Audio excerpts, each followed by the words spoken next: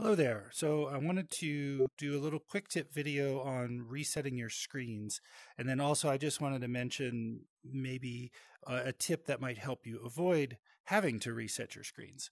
Um, so the first, I, I mean, it really, when you have hand navigation, it's easy to mess up your screens if you are, if your hands are enabled um, unnecessarily. So your hands, you enable and disable your hands by taking either one of your hands Face your palm towards your face and take your thumb and your ring finger and, and then tap. And you see now my hands are enabled. They're colored and I have the the little laser pointer things uh, coming out of my hands, and that allows me to do things like I can, uh, you know, unpin these screens. I can, uh, you know, bring a screen to the front.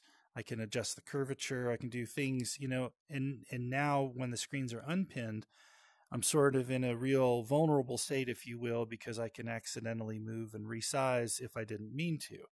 Um, that one of the keys is uh, a couple of things. First of all, have your fingers flailed whenever you do um, hand gestures, and have your your hands about a, a foot out in front of your face so the cameras on your headset can easily see your hands if your hand your fingers are sort of together and your uh, palms are down it's harder for the headset to interpret your like here i'm trying to pinch i'm trying to pinch you know it's hard for the headset to to get that but if you if you really flail your fingers and put your hands out in front it's easier for the camera to see and it's more uh, accurate and if you know le- things will happen more deliberately and less by accident um, so those are just some tips about how you know and then when you're not using your hands um, disable them so you don't accidentally see now I can do whatever I want and nothing happens. So anyway, that's, that's a tip that might might help not get into a state like this that you're seeing in this picture right in front.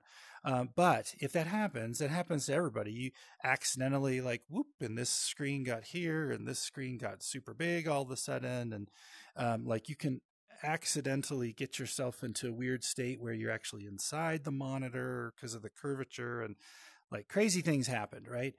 Um, I try two things. First thing I try is um, I'll take my hands um, uh, wide apart. I'll pinch my thumbs and index fingers like I'm going to resize, and then I'll try to drag together. Because doing that, I might grab one or the other of the screens, and then if you can get two of them and drag, now you're shrinking the size. So if you can shrink the size, like this one, um, just kind of that motion, that hand like this, I managed to grab the screen and you know kind of get out of it. And once they're out and smaller now they're manageable you can move them around and you can you know get everything back the way you you want to. But let's say you you know you got yourself into this weird sort of funky spot i don't know they're all janky um, uh, and you can't you're doing that motion and it's not helping. In this case like my hands are inside the monitor and it's like ah, what's happening? Um, you can try to use your menus um, the in one the reset screens um, uh, option in the menu in particular. It's on the main menu so you can um, open the main menu by taking your left hand and looking at it and index finger to thumb and it'll come up.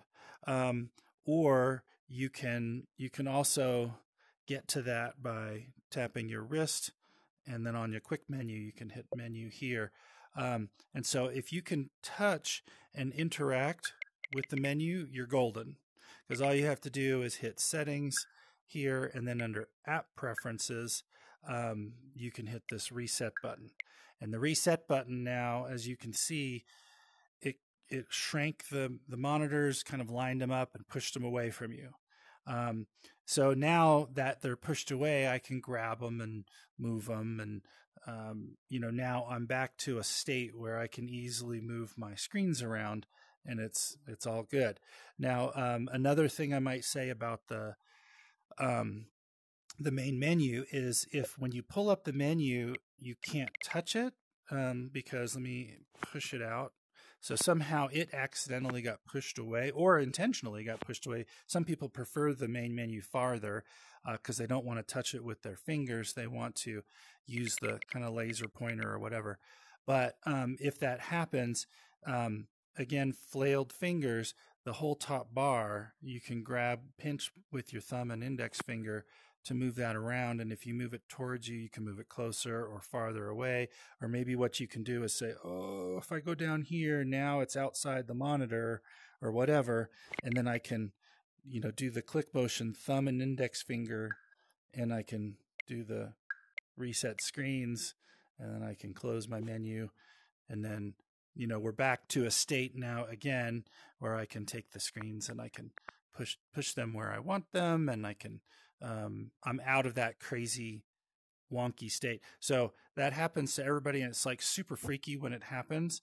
But you, you do have that reset um, reset screens option that you know usually can help get you back to a state where you can um, kind of get your screens into uh, you know fixed basically to where now uh, you can see your screens again.